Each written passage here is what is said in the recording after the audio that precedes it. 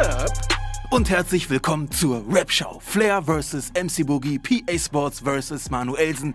Wie lange hält der Frieden? Ich bin Mr. Rap. Dranbleiben. Leute, wir haben heute gleich zwei Beefs mit im Gepäck, wo vordergründig jetzt Frieden herrscht, die Stimmung allerdings doch nicht ganz so positiv zu sein scheint. Fangen wir an mit Flair und MC Boogie. Da ging es ja in den letzten Wochen so richtig ab. Es gab beispielsweise eine Einladung zum sportlichen Boxkampf von MC Boogie an Flair. Flair wiederum nahm diese nicht an und verhielt sich dabei laut MC Boogie unsportlich. Es gab zahlreiche gegenseitige Instagram-Ansagen, die dann ab und zu auch mal recht ungemütlich wurden. Zwischenzeitlich war auch Bedash mit involviert. Jetzt allerdings gab es folgende Instagram-Story von Flair. Flair schrieb vor einigen Tagen, es gibt zwischen Boogie und mir kein Problem mehr. Es wurde sich ausgesprochen, alles Liebe für die Zukunft. In einer zweiten Instagram-Story schrieb Flair dann außerdem noch, auch alles Gute für Mock, Mutter beleidigen ist auch zu viel gewesen, alles Liebe, 19 Tracks auf CCN. Eine direkte Reaktion von MC Boogie blieb erst einmal aus. Vorgestern dann allerdings haute MC Boogie raus, sagte, er könne sich aus privaten Gründen derzeit nicht über den Flair-Beef äußern, kündigte allerdings ein Statement für morgen, also gestern an und das kam dann auch. Dieses Statement von Boogie beginnt direkt mit den Worten, hier das Statement zu dem Beef mit Flair, wo ich meinte, es ist gar kein Beef.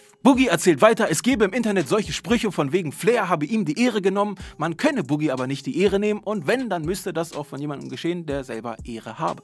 Auch sagt Boogie, er sei angerufen worden und gefragt worden, ob er Probleme hätte. Angeblich hätten Leute vor seiner Tür gestanden oder er sei geschlagen worden. Das alles seien nur Gerüchte. Tatsächlich allerdings habe es im Hintergrund Gespräche gegeben mit Leuten. Es wurde über Flair gesprochen und man sei am Ende im Guten auseinandergegangen. Aber Boogie sagt auch, das Statement von Flair, von wegen man habe sich ausgesprochen und alles geklärt, das stimme nicht ganz, denn es sei eben über Flair gesprochen worden und Flair sei halt selber nicht dabei gewesen. Und das sei dann laut Boogie auch der ganze Stand in diesem hängengebliebenen Beef. Also zum einen vordergründig wohl Frieden, aber Best Friends, das wirkt jetzt nicht ganz so. Wir bleiben auf jeden Fall gespannt, was da noch passiert und kommen damit dann zu PA Sports vs. Manuelsen. Auch hier vordergründig Frieden, aber so richtig ist so positiv wirkt's nicht. Nachdem es zwischen Manuelsen und PA Sports ja schon jahrelang unter der Oberfläche irgendwie zu brodeln schien, platzte die Bombe dann im November letzten Jahres. PA Sports veröffentlichte hier seinen Track 100 Bars Final Kill mitsamt einer Zeile, wo er sich selber als King im Ruhrpott betitelte. Manuelsen wiederum reagierte darauf und sagte, King im Ruhrpott könne doch nur sein, wer auch im Ruhrpott lebe. Daraufhin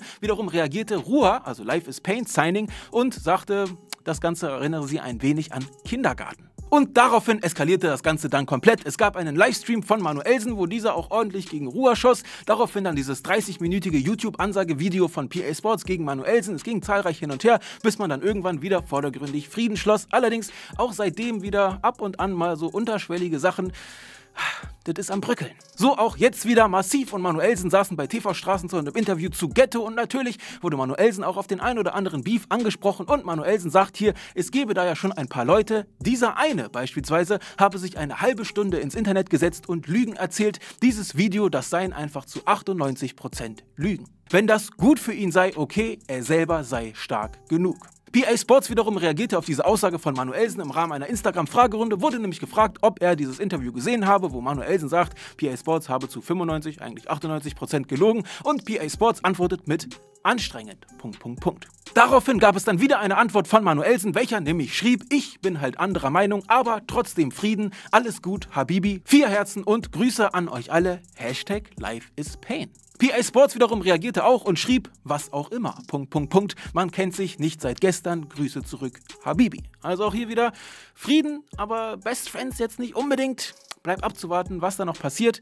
Ich lehne mich mal aus dem Fenster und sage, das ist nicht das letzte Video, wo es um PA Sports und Manuelsen geht. Was denkt ihr? Schreibt es mir in die Kommentare. Ansonsten würde ich sagen, das war's von mir. Abonniere und aktiviere die Glocke. Hihi.